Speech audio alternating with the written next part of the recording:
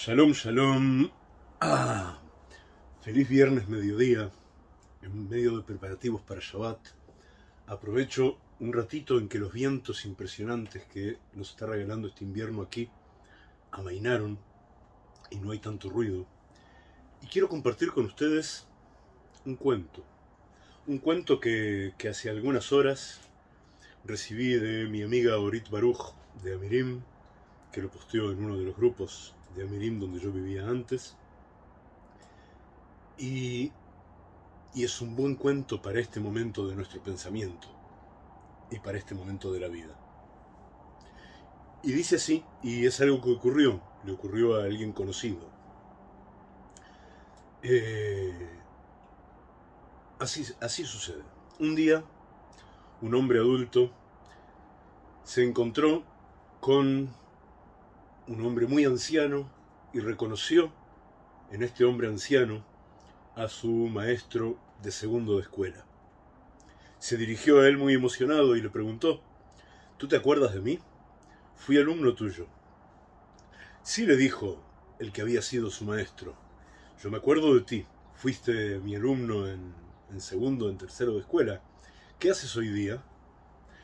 Yo soy maestro, le contestó el hombre que había sido su alumno muchos años atrás. ¿Y, ¿y qué te dio inspiración para ser maestro? Preguntó el, el maestro anciano. Tú me diste la inspiración, le respondió el que había sido su alumno. ¿Y cómo es que, que yo te di inspiración para ser maestro? Preguntó, preguntó el maestro anciano, sorprendido. Y le respondió el maestro joven, porque vi, noté qué influencia impresionante tuviste en mi vida y decidí que yo también quiero incidir en niños de ese mismo modo y por consiguiente fui a estudiar para ser maestro. ¿No te acuerdas? preguntó el maestro joven. Estoy seguro de que tendrías que acordarte del, del cuento, de lo que ocurrió. Y si no te acuerdas, te lo voy a contar yo. Una vez, hace muchos años, cuando tú eras mi maestro, vino, vino a la clase uno de nuestros compañeros y en su muñeca llevaba un reloj muy bonito que sus padres le habían comprado. Yo soñaba hacía tiempo con tener un reloj y, y tanta envidia y tantas ganas me despertó el reloj de él que pensé en robárselo.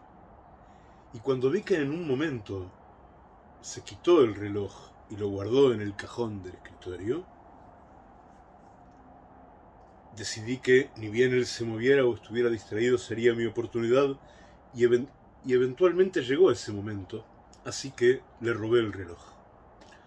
Pasó un rato y el niño descubrió que el reloj no estaba más en el cajón de su escritorio, de su pupitre, y entonces fue a vos llorando y te dijo que le habían robado el reloj. Tú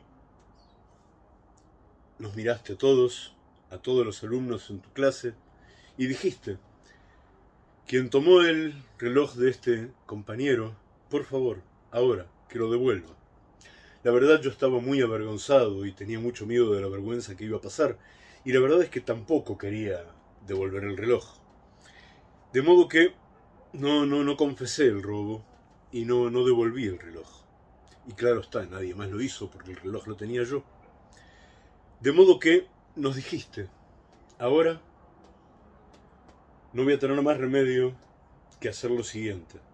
Por favor, párense todos a lo largo de la pared en fila, con el rostro vuelto a la pared.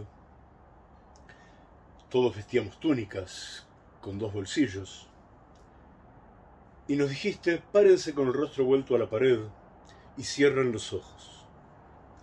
Y entonces tú pasaste, uno por uno, metiste las manos en los bolsillos de las túnicas, y así, uno por uno, mientras todos estábamos ahí con los ojos cerrados. Yo sentí que se me venía encima el momento más humillante de mi vida. Y era tremendo, y tú te ibas acercando. Y en un momento llegaste hasta mí, metiste las manos en los bolsillos de mi túnica En uno de los bolsillos encontraste el reloj, lo sacaste, no dijiste una palabra y tampoco paraste de buscar. Seguiste y metiste las manos en los bolsillos de las túnicas de todos los niños que estaban después de mí también.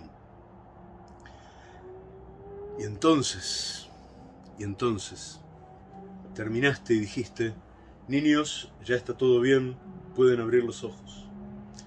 Le devolviste el reloj a aquel que era su verdadero dueño y nunca volviste a decir una palabra sobre el tema.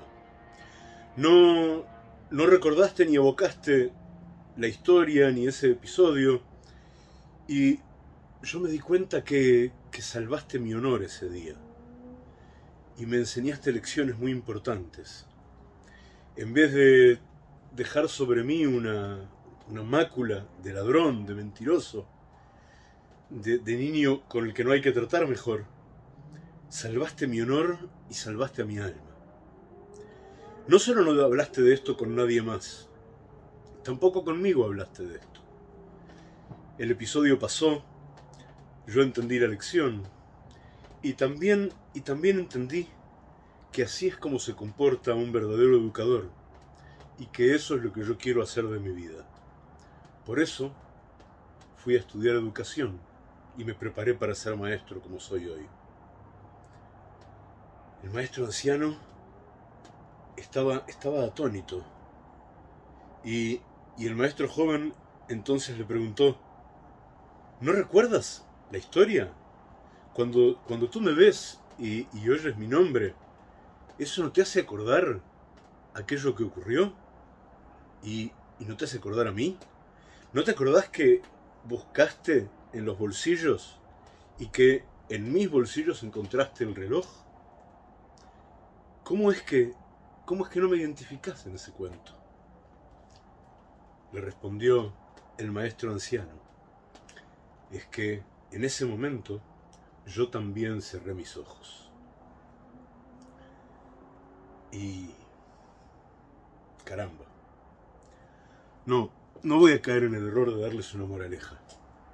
Cada quien puede arribar a las enseñanzas de esto por sí mismo. Y es más, celebraré que me, que me cuenten vuestras conclusiones en los comentarios a este video. Sí les voy a decir, como se dice muchas veces, en libros de Hasidut, en libros de Kabbalah, Lejaim, Lejaim. A veces, cuando hay un párrafo difícil de entender, o que no es obvio su significado, no está claro hacia dónde va, al final del párrafo viene siempre una sigla, un acróstico. Hay varios de estos acrósticos. Los dos fundamentales, bueno, el, principal no es un acróstico, es una expresión. Dice Behamaskil Yavin. Y quien cultiva su inteligencia comprenderá. Entonces, te dejé todo esto y, y no te voy a cortar los bocados de la carne, no eso lo vas a hacer tú. Y si tú cultivas tu inteligencia, vas a comprender. Y si no comprendes, vas a cultivar tu inteligencia. Porque cuando sabemos que en algo hay sabiduría, otra de las expresiones que aparece a veces al final de párrafos muy profundos, muy abstractos, o, muy difíciles de abordar en libros de Kabbalah y de Hasidut, el acróstico es Vadapjaj. Y expandido dice Bedibrei Pijaham Gen. Porque las palabras que salen de la boca de un sabio son gen, son gracia, son sabiduría. No importa de qué hable el hombre sabio. Y creo que, que bien le podemos dar al maestro anciano de nuestro cuento el crédito de Bedibrei Pijahamgen, una perla de sabiduría que acabamos de salvar de que se pierda en grupos de WhatsApp y no se vea nunca más. ¿Acaso? Amigos queridos, Templo de Pasos querido, recordad por favor que tenemos dos canales de YouTube. Este, Abracadabra, donde estamos publicando ahora este video, Y el canal nuevo, que es muy importante, y se llama Vivir en el Templo de Pasos. En la descripción les dejo el link. Es muy importante que se suscriban. Eh, hasta que un canal de YouTube no pasa a los mil suscriptores, no se monetiza. Este, y en este momento hay 76 suscriptores en nuestro canal nuevo. Eh, me voy a dar un plazo, un plazo razonable para pasar los mil. Y si no lo pasamos, voy a agarrar todos los videos importantes que hay ahí y los voy a subir al principal también. Pero sería bueno poder tener nuestro contenido dividido en dos canales mejor ordenados. Eso. Y aprovecho y les cuento nuestro libro En la senda del Zohar. En este momento le falta, antes de pasar a una última corrección, eh, le falta solamente el prólogo, que está en borrador, y con ayuda de Hashem va a estar pronto en los próximos días. Entonces voy a poder preparar la versión para, para imprenta, y esa versión para imprenta también se va a poder precomprar en Amazon para quien prefiera la versión impresa. Y por último, los convoco a los convoco a estar presentes, a venirse a la tertulia del Templo de Pasos, a conversar sobre los contenidos que compartimos, a, alzar vuestras voces en lo que despierta duda o, en aquello para lo que necesitamos una linterna más enfocada, más clara. En fin, estamos construyendo juntos. Estamos de los pasos de todos, constituyendo el templo qué es lo que vinimos a hacer en este mundo. Queridos amigos del Jaburá, mi verjá para ustedes de todo corazón. Los dejo con mi verjá de Shabbat Shalom. Fuerte abrazo y seguimos viéndonos aquí. Shalom, shalom.